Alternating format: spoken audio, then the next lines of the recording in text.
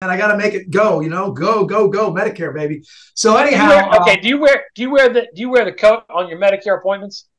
no, they won't allow me to do that. I just wear it for the Alliance training events. Okay, all right, I got you. All right, keep rocking.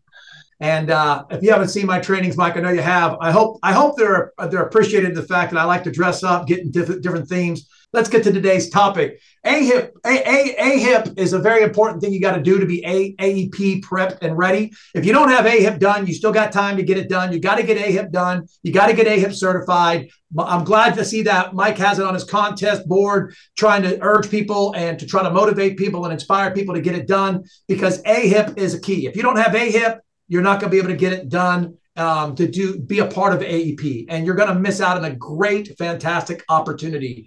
Uh, you know, just to let you know, Medicare just isn't Medicare. I buy, uh, and I'll get to more about it, but I buy 22 Medicare leads a week, and if you think all I sell them is Medicare, you go cray cray because it, it, I find annuities with Medicare. I find life insurance opportunity with Medicare. I find hospital indemnity plan opportunity with Medicare. So those Medicare leads lead me to other opportunities. And you really need to get AHIP certified and be a part of the Medicare bandwagon and get uh, get rid of that fear. I like uh, the gentleman that was on earlier about dialing. He said nervousness. I see a lot of people are nervousness about getting into the Medicare realm. And I was there too. Trust me, I was there too. But and honestly, telling you right now, I was told by somebody who's been in the industry for many, many years. They said, Eric, are you going to be honest? Yes. Eric, you ethical? Yes. Eric, you going to take care of the clients? Yes. Then what are you nervous about? What are you nervous about? I said, wow. He goes, Eric, listen, everybody makes mistakes. It's okay as long as you're ethical, honest, and you're out there to take care of clients. And I'm expecting you're wanting to do the same thing. So what's there to be nervous about?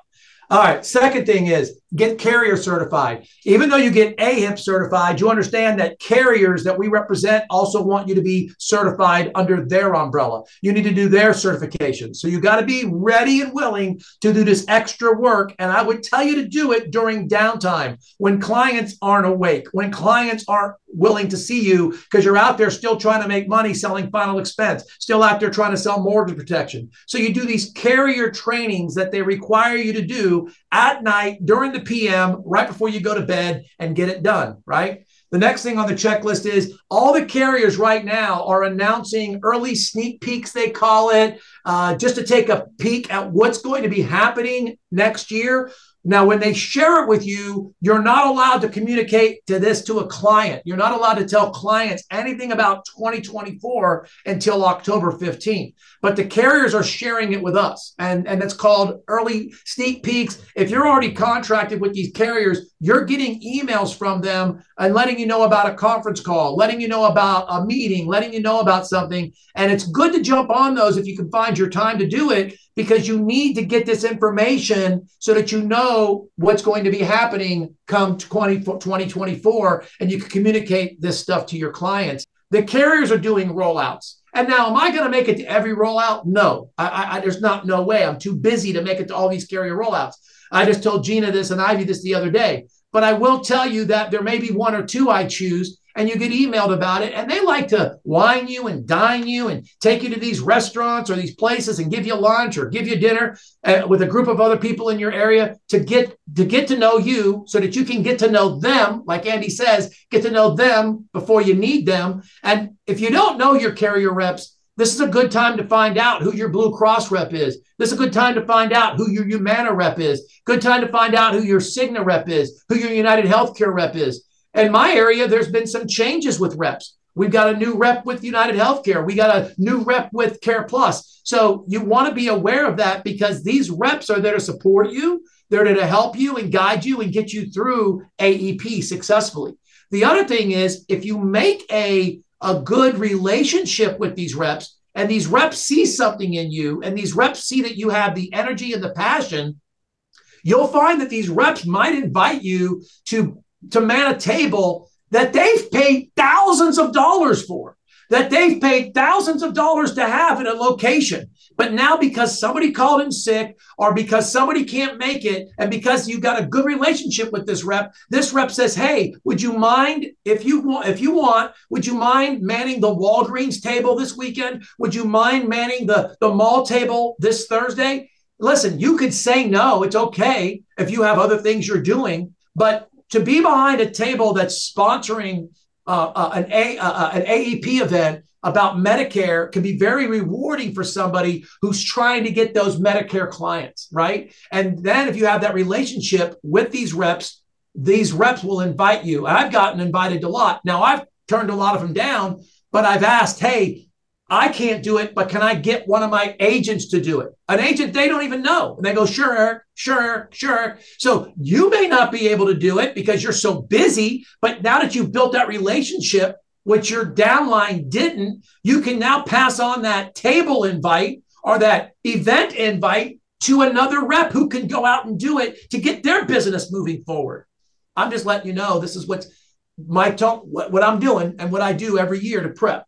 The next thing is every single client that I have right now in my database, I know they're going to be bombarded with phone calls, unsolicited, illegal phone calls. They're going to be bombarded with TV commercials. They're going to be bombarded with direct mail. They're going to be bombarded and hounded by people out there who are trying to steal your client.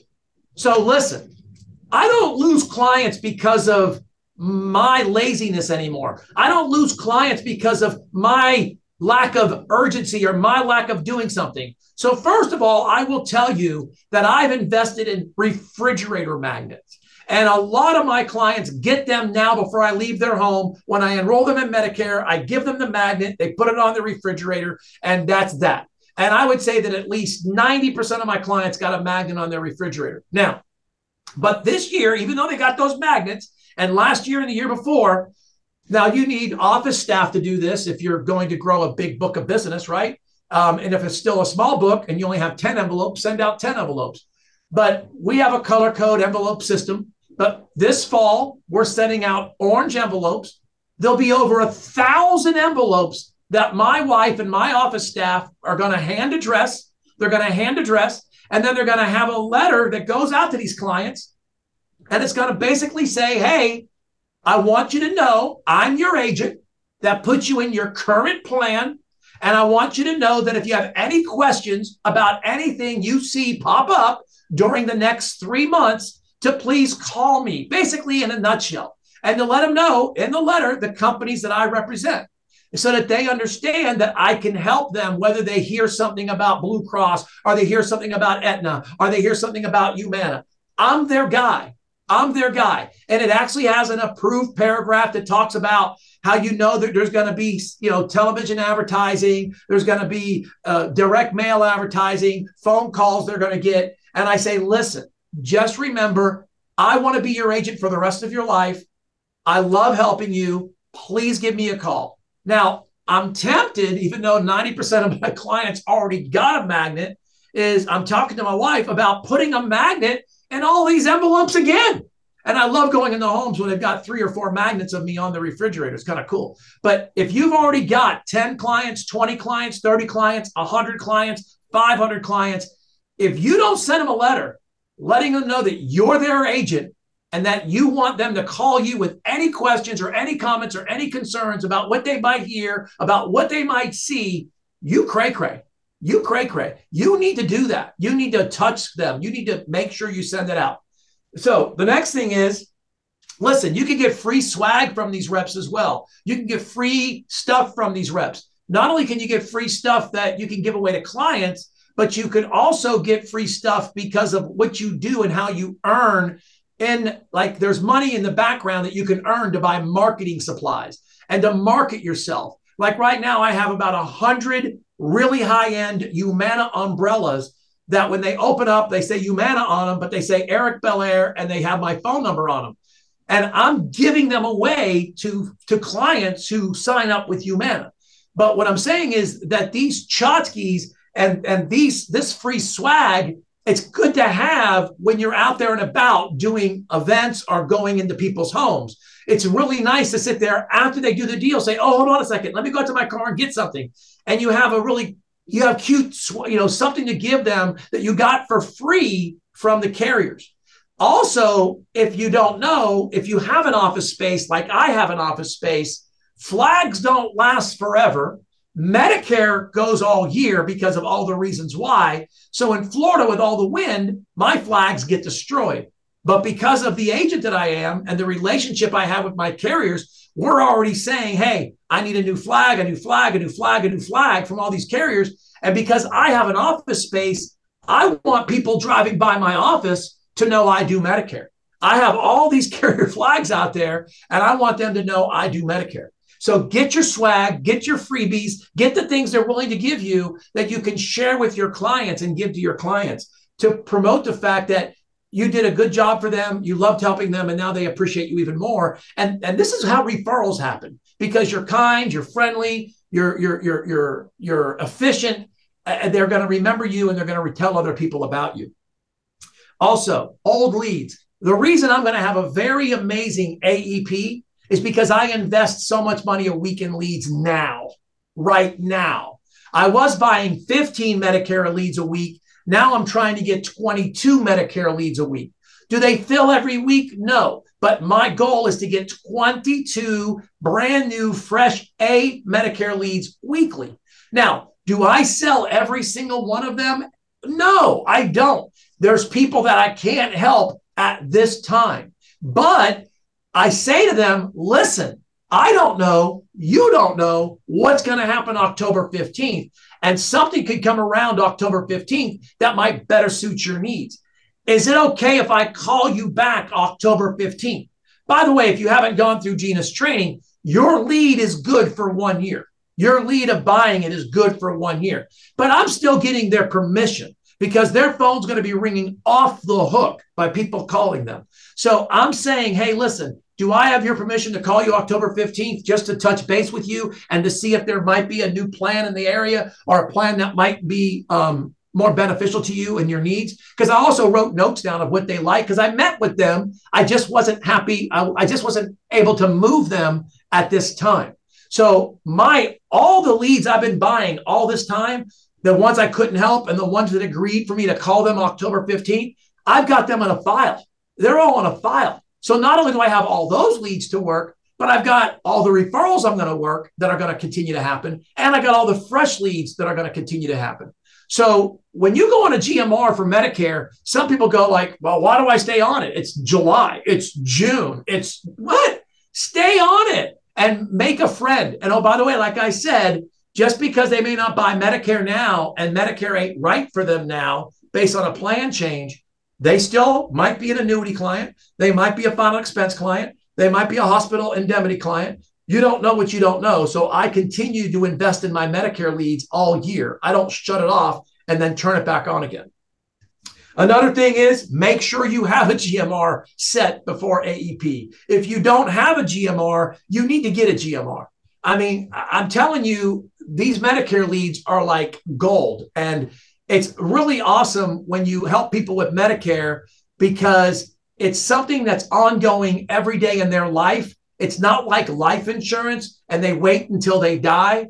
It's it's Medicare where they need it every day of their life when they have medical issues, prescription issues, vision issues, dental issues. So they remember you and that helps you build your business. So if you don't have a GMR, get on a GMR now and you should start it now before AHIP because it sometimes can take weeks for the machine to start to spit out the leads. Like if you put a, a 10 A lead GMR in today in your area, there may not be none to fill next week and none to fill the week after that and none to fill the week after that because they're getting that machine moving and they're sending out the letters and the mailers and to try to help you fulfill your, com- your commitment to, to 10 A leads a week of a GMR for Medicare leads. But by starting it now, it should be fully primed and pumped and ready to go when AEP arrives. Next, I also send out a monthly newsletter. I'm not asking you to do this. I'm telling you what I do. I, I have constant contact. That makes sure all my emails get through. I don't get jammed up with, with spam and all this. And it's a professional way of helping clients remember who I am. And I send out a newsletter every month. That's an email newsletter. And it basically changes with the theme of the month. And of course, October is going to roll around and it's going to be Halloween. And I might say something about trick or treat, you know, be ready for, you know, the season that we're in to look at Medicare plans. So I, I have constant contact. It's very, very, very affordable. And it's very, very easy to use to send out email blasts to people without getting jammed up in spam. And it's the legal way to do it because it allows them to opt out. It allows them to say, I don't want to be in it. I want to get out of this. I don't, I don't want to get these emails anymore. And that's the thing you need to be a part of when you're sending out emails in today's world. And the last thing I got is hopefully you have an alliance activity book. Hope you hope you have this alliance activity book and you've already gone into it and you've looked if you're going to be part of Medicare and you want to help more people out there, you want to go to October 15th and December 7th and make sure that you know it's busy time. It's it's the time that you cannot mess around. I'll be working more hours during that time than I have all the other weeks of the year because I got to be available. It's going to be cray cray. So, I mean, there's birthdays that happen, there's anniversaries that happen, there's things that happen, but they got to wait. You, you got to put them off. Now, do I take off one day a week? Yeah, I take off Sundays. So even though a person's birthday is Thursday, I'll say, hey, can we celebrate it on Sunday? Can we do it on Sunday? I mean, even you, I'm just telling you, know, if you don't have this and you don't realize how busy and hectic things are going to be, especially if you do a great job and you're a blessing and you're a difference maker to people, we all have to make phone calls when we buy leads, make phone calls when we buy leads. But the bigger a blessing you are and the bigger a difference maker you are, now your phone starts ringing out of the blue. Now people are starting to call you. I got three phone calls today from people that have told other people about me because of how I help them with Medicare. So I'm just letting you know I'm glad that Andy brought Medicare into our realm three, four years ago. I personally wish it had been here since the day I was here. Oh my God. So it's just, it's an amazing opportunity.